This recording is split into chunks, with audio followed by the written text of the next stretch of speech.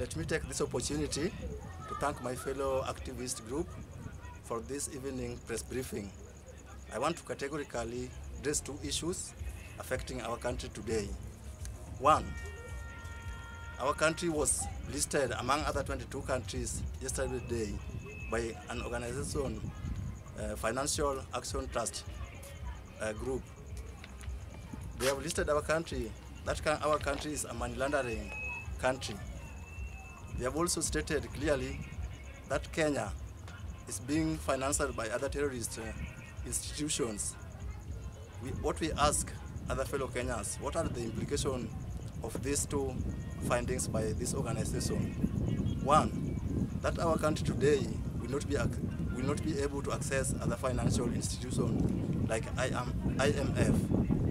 Two, that the dollar rate and the Kenya shillings very at par and will be very different. The difference will be too high as as witnessed in the last two months where, where dollar rated 168 against shillings. This will be very bad against our economy status today. Second issue, I want to address education system in Kenya. The worsened education, what we refer to the CBC, as was uh, contemplated that it will be implemented, is not as per the initiators of the project. Today, the junior secondary school is at a worst stage when our legislators are just there doing nothing about it. I have a, a, a grade 7 student here in Nairobi at a public school. My daughter tells me that they have never sat for a subject called business studies. If we are at the capital, Nairobi, Kenya, where there is offices for the Teacher Service Commission, and the school cannot have enough teachers, what about the rural schools? This, this shows that our education is at a pilot uh, trial, and this is uh, worsening our sector.